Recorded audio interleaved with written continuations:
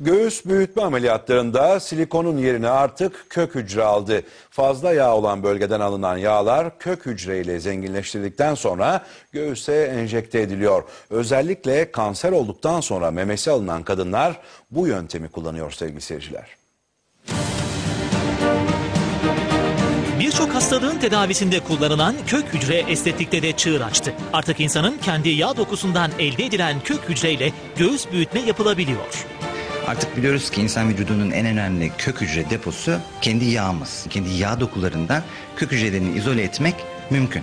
Ee, bu kök hücreleri daha sonra çok kolayca alıp liposakşını alıp istediğiniz yerlerde kullanabiliyorsunuz. Kök hücreyle zenginleştirilmiş doku ve göğüs büyütme ameliyatı 3 aşamadan oluşuyor.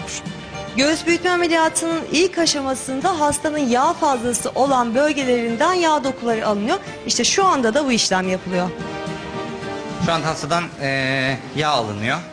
Daha sonra bu alınan yağlar laboratuvar kısmındaki makinelere gönderilecek. Eee, orada işte özel şartlar altında bu yağ doku içindeki kök hücreler ayrılacaklar. Sonra gene hastanın yağıyla kar- karıştırılıp hasta yüzüstü döndükten sonra göğsüne geri verilecekler. İkinci aşamada hastanın yağlarından kök hücreler ayrıştırılıyor. Kök hücreden zenginleştirilmiş dokuyla yapılan göğüs büyütme işlemi yaklaşık 2 saat sürüyor. Bu yöntemi diğer yöntemlerden avantajlı kılan yönü ise hastanın vücudunda herhangi bir kesik oluşturmadan göğüs büyütme işleminin yapılması. Şurada görüldüğü gibi hastanın yağı tamamen kapalı sistemde hiç el değmeden ayrılıyor. Direkt bu Avrupa standartlarında hazırlanmış, CE standartlarında hazırlanmış özel bir makine içine yerleştiriliyor. Ve hiç el değmeden gene kök hücrelerden zenginleştirilerek orada karıştırılarak hastaya geri veriliyor. Gene kapalı bir sistemde tamamen şöyle kapalı bir sistem içinde. Biz bu işlemi ameliyathanenin hemen yanı başında neredeyse cerrah uzatıyor. Biz e, yağ dokuyu alıyoruz. Kök hücreyle yapılan meme büyütme ameliyatları en çok kanser hastalarının yüzünü güldürecek.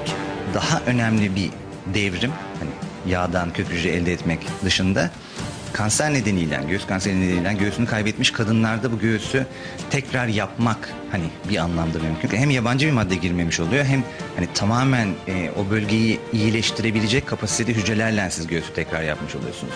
Kök hücreyle gelen güzellik sadece meme ile sınırlı değil. Kırışıklıklardan kurtulmak için de yağ dokudan alınan kök hücre kullanılıyor. Göğüste bunu kullanabiliyoruz. Yüz gençleştirmede bunu kullanabiliyoruz. Hani yaşlanmaya bağlı olarak yüzün sarkmasında, sönmesinde kök zenginleştirilmiş yağ dokuyu oraya nakledebiliyoruz. Hasta yaklaşık bir haftada normal hayatına dönebiliyor. Bu yöntemle kadınlar bir taşla iki kuş vurmuş oluyor. Hem fazla yağlarından kurtuluyorlar hem de genç ve güzel görünebiliyorlar.